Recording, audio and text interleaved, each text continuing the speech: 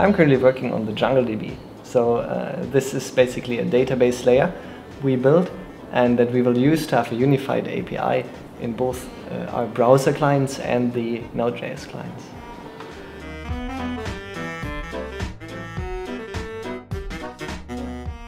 Yes, so um, obviously it, it has to solve some problems, otherwise we won't do it. And the thing is, currently in the browser we use the IndexedDB, and in on the uh, Node.js level we use the LevelDB. And they both have first different interfaces, and we would like to have a unified code base so everything looks similar for both clients. And there are other properties we would like to have for the databases. And IndexedDB and LevelDB, they have both different properties. For example, the LevelDB does not support secondary indices per se, and the IndexedDB, it can handle that. And so we would like to unify that and have the same set of features in both, and we also need to extend it, for example, with things like read isolation.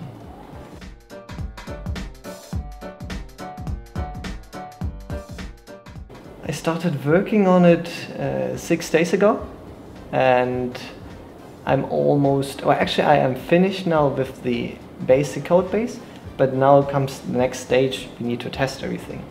So finding bugs in the current code or ensuring that there are no bugs in it because of course it's critical.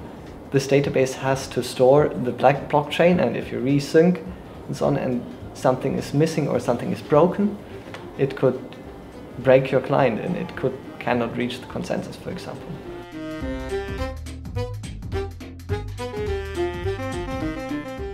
The project is organized in the same way as the main core project.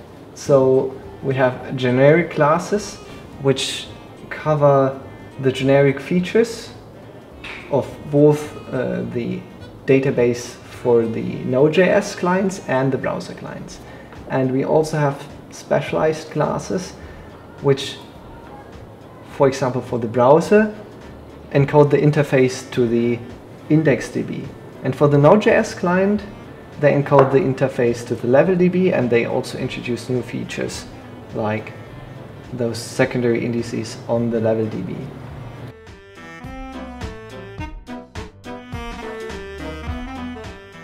So typically, you know, like a couple of years ago, there wasn't even a way for websites to store data on your computer because this would not something be that website websites typically do.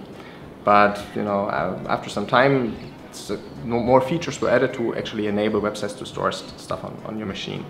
But uh, you know, it all started with cookies. I think this was like the first thing that you can store, and then the there was local storage, and then there's IndexedDB, which are like more advanced browser features for websites to kind of store something on your machine.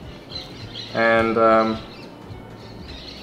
well, this is maybe also just my personal opinion, but um, the way that especially this IndexedDB is designed, so the way that you're supposed to use it as a developer, is actually really painful it's super painful that, that the APIs are uh, some some features are actually you know unusable. In, well, at least in our use case, or you would have to like restructure your code in a way that would really suck. And the the database layer that that Pascal built also abstracts away from all these ugly from all this ugly API and exposes two different sets of databases via this unified interface and takes out all the you know, the sucky, it hides all the sucky parts underneath.